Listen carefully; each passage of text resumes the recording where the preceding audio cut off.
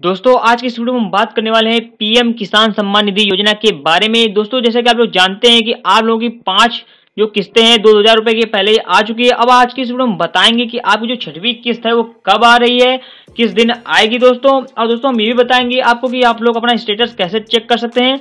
दोस्तों, वीडियो शुरू करने से पहले, अगर आप लोगों ने अभी तक हमारे चैनल को सब्सक्राइब नहीं किया तो हमारे चैनल को सब्सक्राइब कर लीजिएगा, वीडियो को लाइक कर देना और शेयर करना। दोस्तों, शुरू करते हैं अपना वीडियो पीएम किसान सम्मान निधि योजना के बारे में। दोस्तों, आप देख सकते हैं कि इसकी जो ऑफिशियल वेबसाइट दोस्तों, ये है पीएम किसान निधि योजना की ऑफिशियल वेबसाइट है दोस्तों। इसमें आपको दोस्तों, जो छठवीं किस्त है, वो आपको इसमें आर्टिकल लिखा हुआ है। इसमें कि पीएम किसान की एक अगस्त से आएगी 2000 की छठी किस्त। आपकी दोस्तों, जो छठवीं किस्त है, वो एक अगस्त को आने वाली है। और दोस्तों, इसकी आप जो स्टेटस देखेंगे, इसकी ऑफिशियल वेबसाइट जब आएँगे, इसकी ऑफिशियल वेबसाइट है PM Kisan dot gov dot in इसकी ऑफिशियल वेबसाइट है। इसमें आने के बाद जब स्क्रॉल डाउन करेंगे तो आप देख सकते हैं, यहाँ पे लिखा है न्यू फॉर्मर रजिस्ट्रेशन से आप लोग अपना, अगर अभी तक आपने रजिस्ट्रेशन नहीं किया तो इसमें जाकर आप कर सकते हैं। अगर आपको कुछ गलत हो गया, किसी कारण आपकी, की जो पेमेंट है, वो रुक चुकी है, यानी आपकी एक भी पेमेंट नहीं आई है, या फिर एक, दो आ चुकी हैं, और आगे की जो किस्तें हैं, वो नहीं आ रही तो इसके लिए आपको देख सकते लिखा होगा एडिट आधार फेलो रिकॉर्ड्स में। इसमें आप लोग क्लिक करके आप अपना आधार का जो फेलोर हो गया, यानी कुछ करेक्शन करना, वो भी आप करेक्शन करके अपना सही कर सकते हैं, ताकि आपकी किस्तें आ सकें।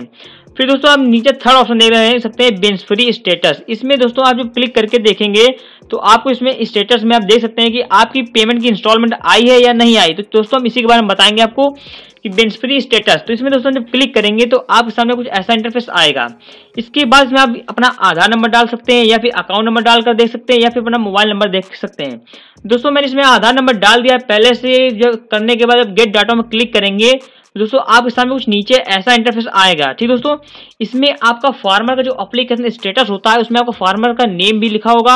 आपका मोबाइल नंबर के लास्ट के जो फोर डिजिट्स होते हैं, वो भी लिखे होंगे। आधार कार्ड के जो लास्ट के फोर डिजिट होंगे, वो लिखा होगा।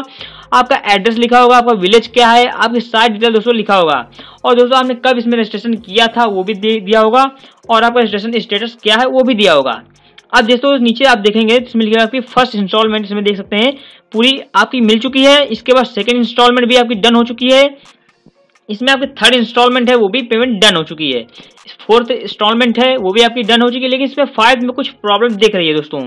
दोस्तों, इसमें जो आपकी पेमेंट स्टेटस वेटिंग फॉर लिखा है अप्रूवल बाय स्टेट तो दोस्तों, जो इनकी जो पांचवी पेमेंट है, वो किसी कारणवश इनकी अभी स्टेट लेवल से अप्रूव नहीं हुई है। यानी इनका जो आधार का रिकॉर्ड है, वो कुछ गलत है, इसीलिए यहाँ नहीं लिखा है। नीचे आप देश लिखा है ट्रांजेक्शन फेल्ड रीजन है आपका एफटीओ पेंडिंग रीजन यानी इनकी जो कुछ पेंडिंग्स हैं कुछ किसी कारणवश इनका पेंडिंग रुक गया। अगर दोस्तों, ये पाँचों इंस्टॉलमेंट अगर आपकी बिल्कुल अप्रूवल हो जाती है पेमेंट डन लिख आ जाता है पाँचों में तो आपको एक अगस्त के बाद छठवीं जो पेमेंट होगी, इसमें आपको दिखने लगेगी।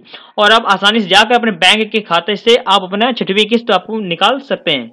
तो दोस्तों, ऐसे ही चेक करना है कि आपको, आपकी जो छठी किस्त आएगी, वो एक अगस्त को आ जाएगी।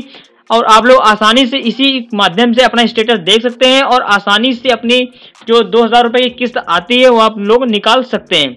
तो दोस्तों, कैसा लगा आज का हमारा वीडियो? अगर दोस्तों कुछ भी आपको पूछना हो इस किसान सम्मान निधि योजना के बारे में तो हमें कमेंट करके बताइए कि हमें ये पूछना है तो उसके लिए भी आप नेक्स्ट वीडियो में बता देंगे।